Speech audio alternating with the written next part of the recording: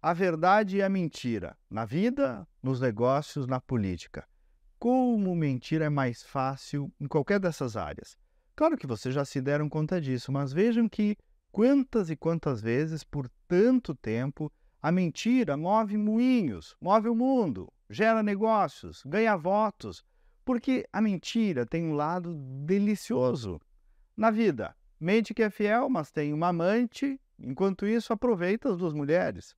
Nos negócios, você diz que faz o que não faz, que conhece o que não conhece, que entrega o que não entrega, copia e cola dos concorrentes, enquanto isso fecha muitos negócios e ainda faz pose de autoridade no assunto. Na política, bah, aqui é um terreno fértil para mentira. Imagine um grupo de pessoas pede 10 quilômetros de asfalto. Você, prefeito, vereador, governador, só tem dinheiro para fazer 5 quilômetros mas vai lá e promete, confirma que vai fazer os 10. Aquelas pessoas vão sair dali maravilhadas com a conquista, o pai dos pobres, o dono de todas as vontades virtuosas da política. Só que depois, na vida, um dia a casa cai, se bobear, você perde uma das duas mulheres, quando não perde as duas e a família junto. Nos negócios, um dia o cliente nota que hum, não era tudo aquilo que me prometeram, naquele PowerPoint tão maravilhoso. E na política, a conta não fecha, porque não tem dinheiro para tudo. Quebra o caixa, quebra o país, o estado, o município vem abaixo. No médio e longo prazo, a mentira acaba se desnudando.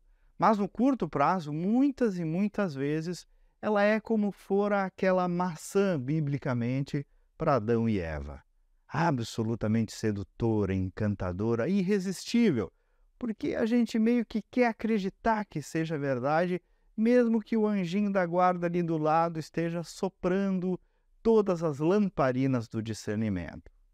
Mas não vamos longe. Todo dia tem gente prometendo coisas e o povo comprando. Perca peso sem deixar de comer um monte. Fique musculoso só tomando aqueles choquinhos na barriga. Ganhe dinheiro sem fazer nada. E por aí vai, por aí afora.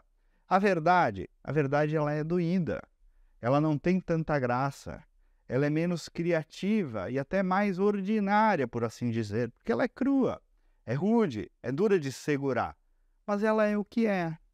A verdade liberta, entrega de verdade, caminha junto, permite seguir de cabeça erguida e deitar em paz com o travesseiro. Mas a verdade também desconforta, exige mais, ergue a régua, mas é mais difícil, mais difícil.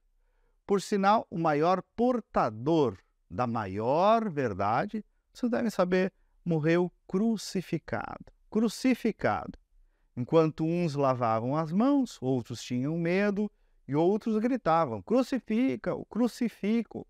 Mas, três dias depois, a verdade venceu. Venceu até a morte. Portanto, amigos, sempre vence.